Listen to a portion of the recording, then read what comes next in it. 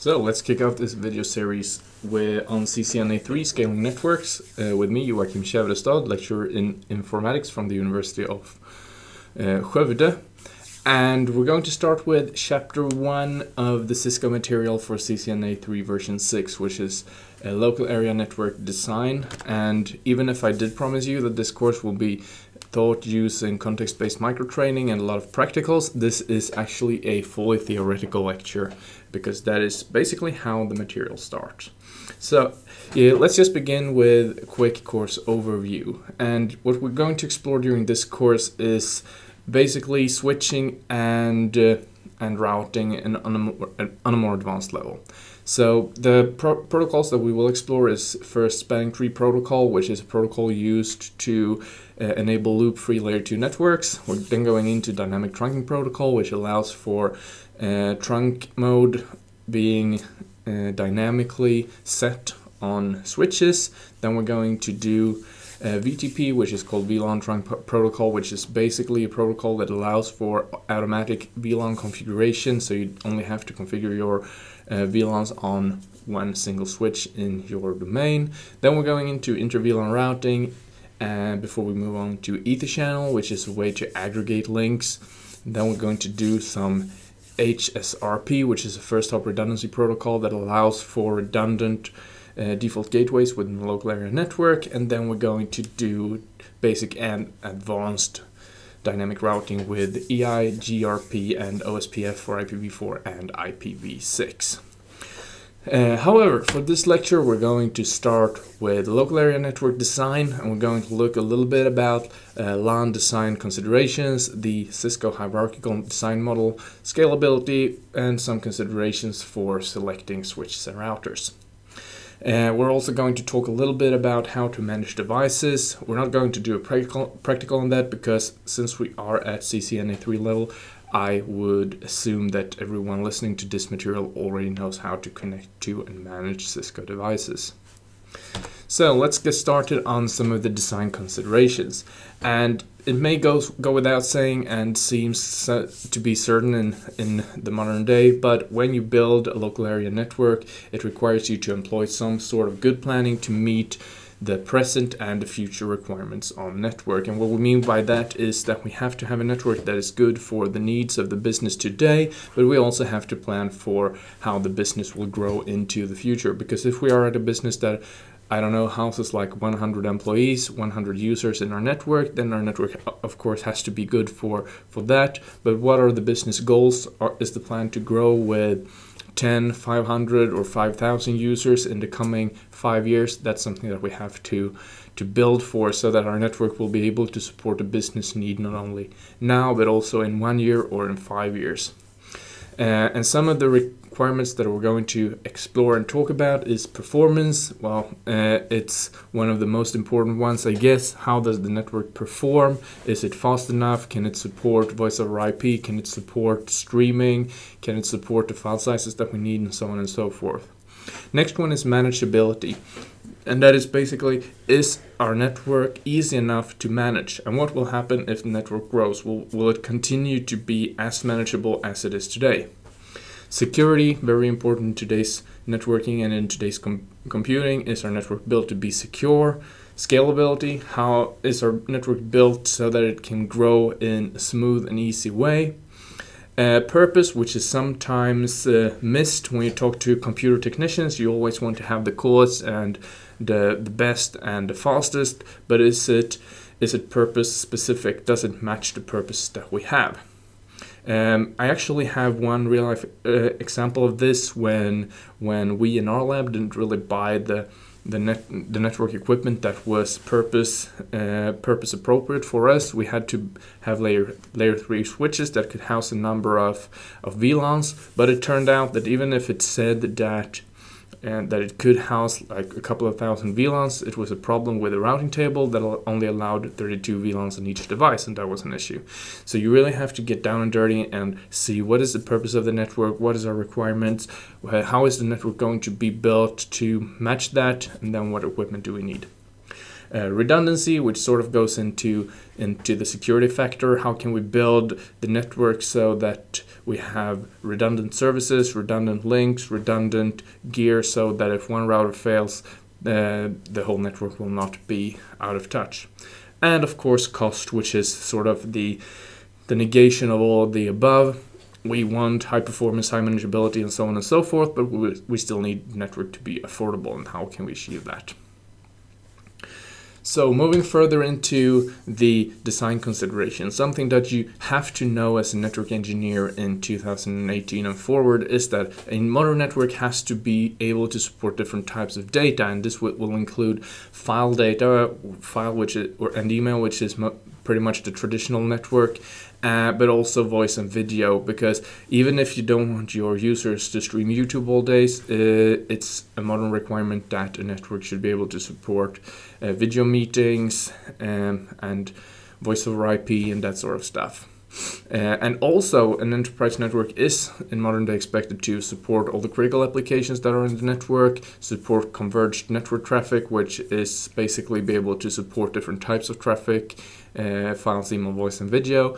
Uh, support diverse business need. Maybe we have one department that has one need, and we have another department that has a vastly different need.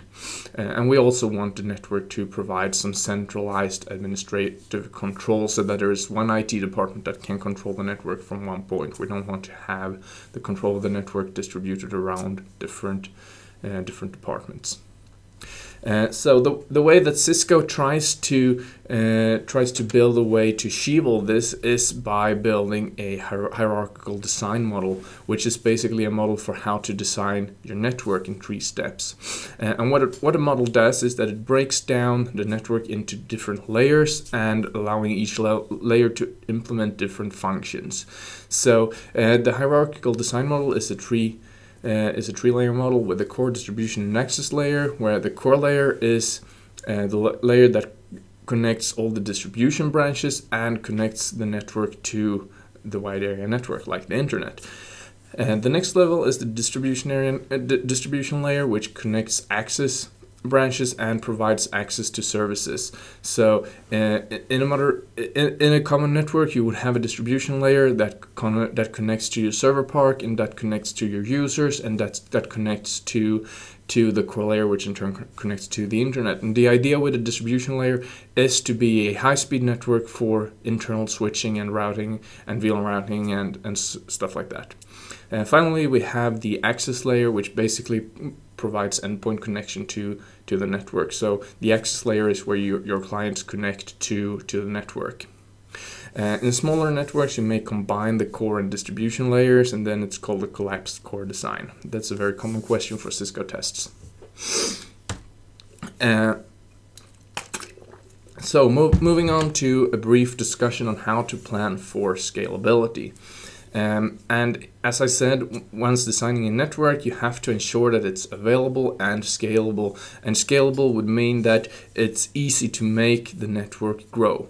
It's easy to add more ports on the access layer while necessary. It should be easy to expand the bandwidth out to the internet if necessary, and so on and so forth. And some recommendations to follow to ensure a scalable network is use modular devices or clustered devices. And what a modular device is, is basically uh, a device where you can add and remove ports as you please. So if you look at the standard CCNA uh, equipment that I'm sure you've seen in the lab, you, you I'm sure you have uh, 2600 switches with uh, with 24 ports and that's it. But if you if you were to have a modular switch, you could just add and remove uh, switch port. So maybe at one point the switch will start having 100 port ports, but then as the network grow, you can just buy another uh, network interface and put in there, and you can have another 100 ports.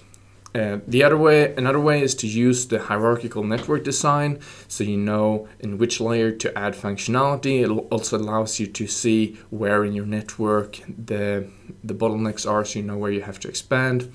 Uh, you should also use an IP addressing strategy that has room for uh, for expansion. And what that means is basically, well, if you have 20 users, you, maybe you shouldn't put all of your network in a in a network that only allows for 32 IP addresses because it's it's quite limited. Instead, if you use IPv4, you should subnet your network so that there is room for expansion in every part of the network. If you use IPv6, there is an abundance of addresses, so you can just spill in addresses in your network so you know that you have room for, for future expansion without having to redesign your network. Uh, and also, when we're talking about scalability and performance, you should use routers and multi-layer switches to limit broadcast domains.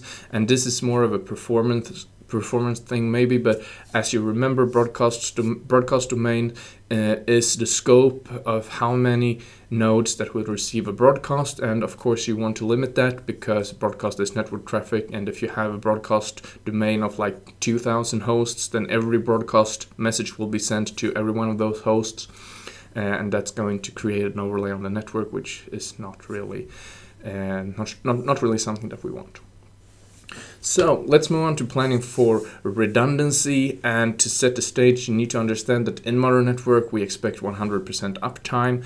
Uh, there are service providers that are writing service level agreements for like 99.9% uptime or, or even 100% uptime where the service provider actually have to pay a fine to uh, to the customer if they can't meet that.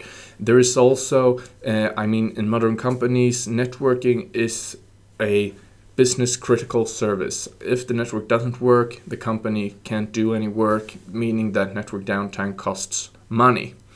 Uh, so one of the things that we achieve high uptime is using redundancy.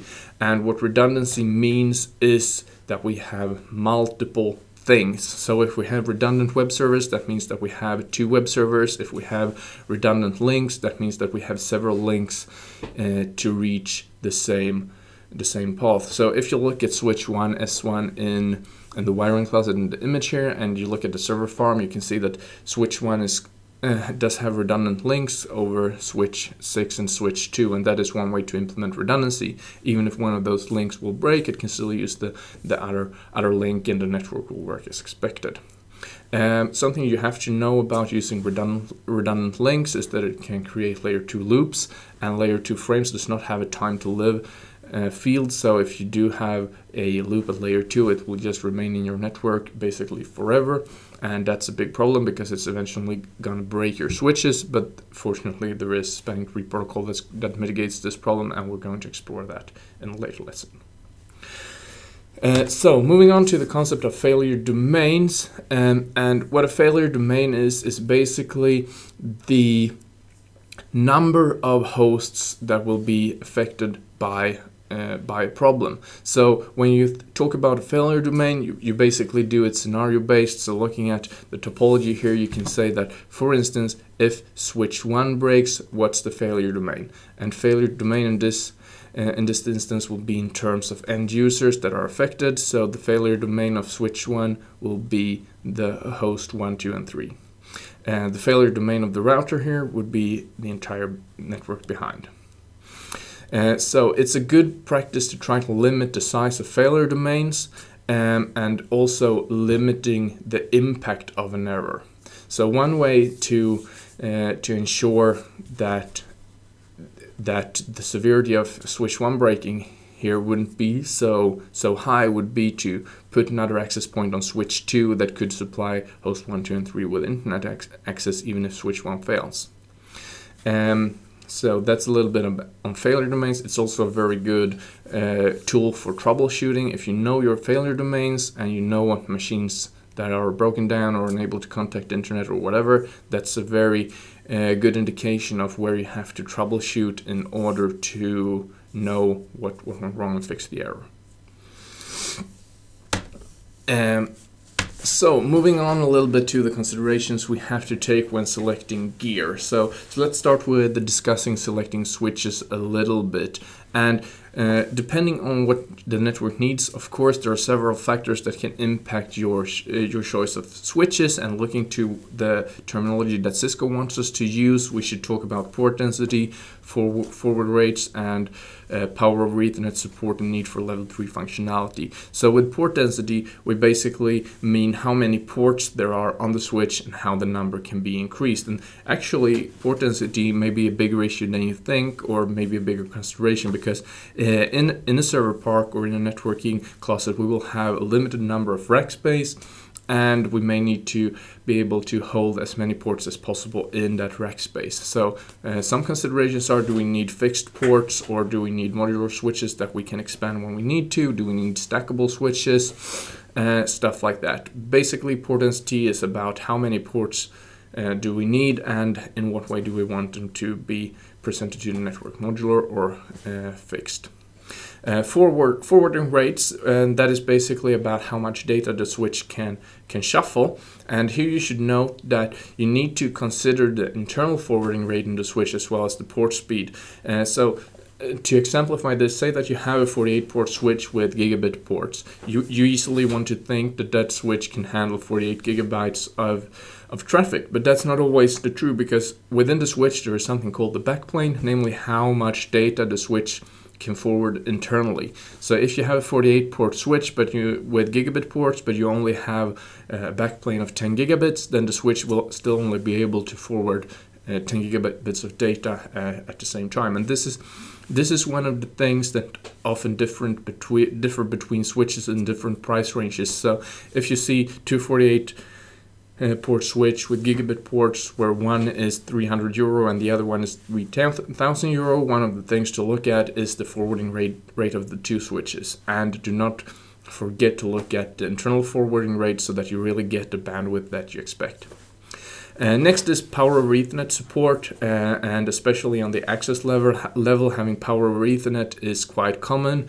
Uh, power over Ethernet is a way to support uh, power supply to to end devices. So uh, in some cases you can uh, support power to IP phones, access points, and more using power over Ethernet, and that makes sure that you don't have to provide external power outlets for those devices. Instead, you can just let the power be supplied over the Ethernet cable, and that uh, that makes for less uh, less cables uh, basically.